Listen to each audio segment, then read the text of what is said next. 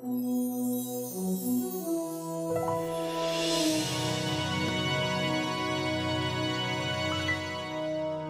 Kunsz és munkatársai által 65 évvel ezelőtt fejlesztett immunfestés módszertana mára nélkülözhetetlenné vált a kísérletes orvostudomány számára. Az immunenzimatikus módszerek pedig már felkeltették a patológusok figyelmét is. Az immunperoxidáz alkalmazásán túl a metszetek előkezelésének forradalmasítása után a monoklonális antitestek alkalmazása következett, majd egyre újabb indikációk jelentek meg, melyek új reagenseket igényeltek. Később megjelent a chip technológia, és ki tudja, mi lesz a legújabb fejlesztés. A következőkben ismerjük meg a legújabb módszert lépésről lépésre. Formalin alapú fixálás során a formaldehid reagál a szöveti fehérjék egyes csoportjaival. A fehérjeláncok között keresztkötések jönnek létre, az epitóp maszkírozódik és megnehezíti az elsődleges antitest kötődését a keresett antigénhez. Ez a reverzibilis kapcsolat a megfelelő előkezeléssel felbontható. Az antigén feltárás célja, hogy az antigén determinánsokat, epitópokat felszabadítsuk, demaszkírozzuk. Az előkezelést, a deparafinálást és rehidrálást követően hőálló edényben végezzük. A metszeteket bőségesen fedjük pufferrel, majd mikrohullámú sütőben 750 watt teljesítményen melegítjük. 5 percnél tovább tartó előkezelés esetén a periódusok között desztillált vízzel pótoljuk az elpárolgott folyadék mennyiséget.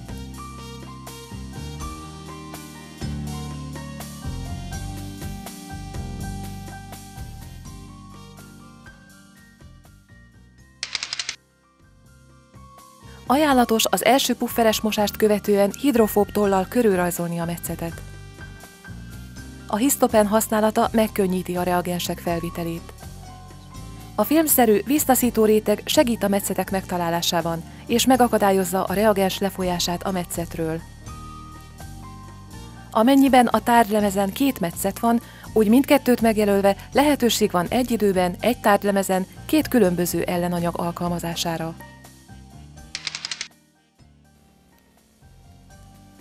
A maszkírozódott antigéndetermináns helyek feltárásának másik módja az enzimes előemésztés.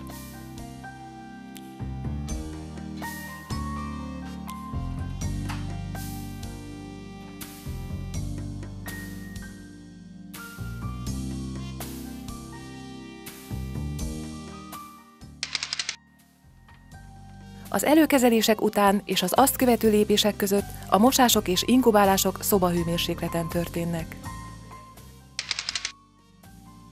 Számos sejtnek, például granulociták, lép, csontvelő van endogén peroxidáz aktivitása. Másoknak, például a vörösvértestek hemoglobinjának és izomrostok mioglobinjának pseudoperoxidáz aktivitása.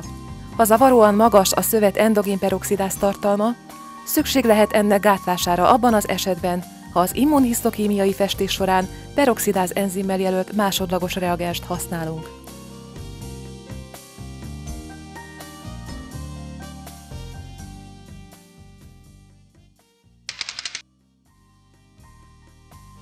A háttérgátló oldat telíti a nem specifikus kötőhelyeket, így megakadályozza az elsődleges és másodlagos antitestek nem fajlagos kötődését.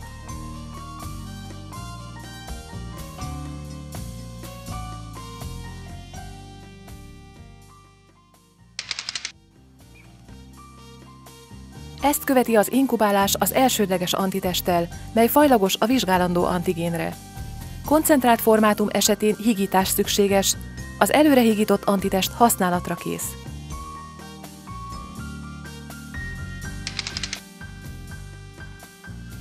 Minden lépés után a maradék reagens eltávolítása alapos mosással történjen.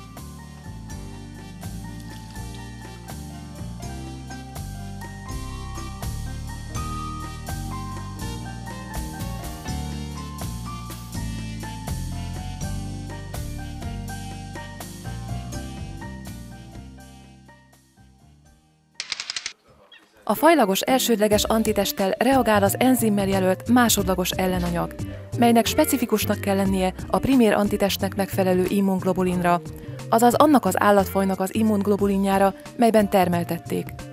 A histolsz másodlagos antiszérumok enzimmel jelölt mikropolimer alapú előhívó rendszerek, melyek a vizsgált szövetekben található antigénekhez kötődött egér, vagy nyúl, vagy mindkettő eredetű immunglobulinokat detektálnak egy vagy két lépésben.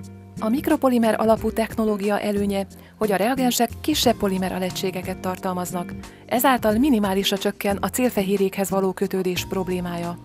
Ezek a jelölt polimer alapú reagensek lehetővé teszik a magas enzimtartalmú, de kisméretű másodlagos antitest komplexek létrejöttét, és intenzív, háttér nélküli festést eredményeznek.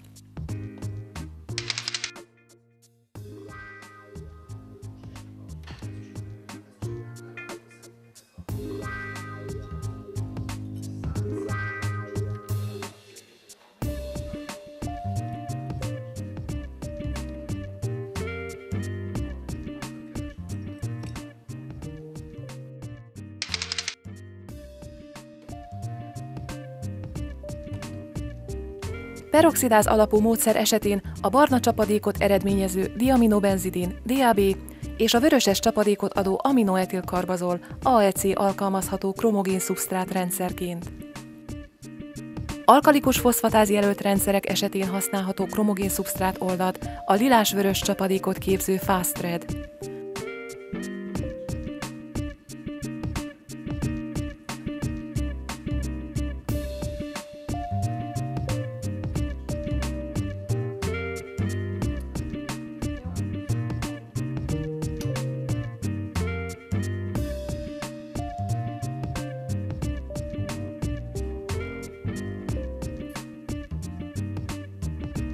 A megfelelő színreakció elérését mikroszkóp alatt ellenőrizzük.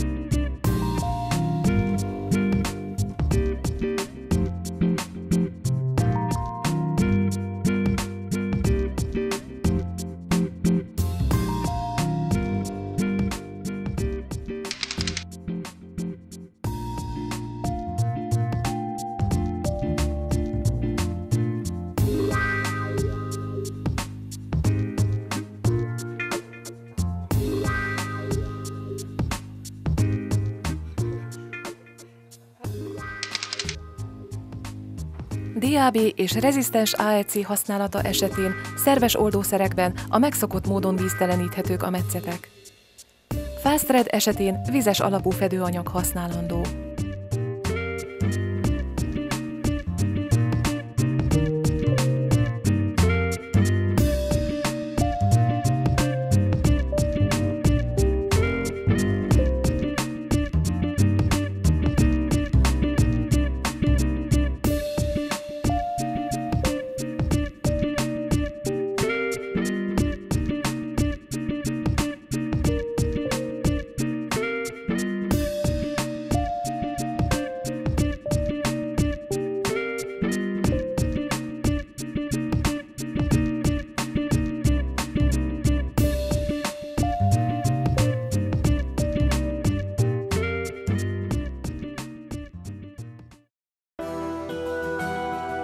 Hisztopatológia a diagnosztika szolgálatában.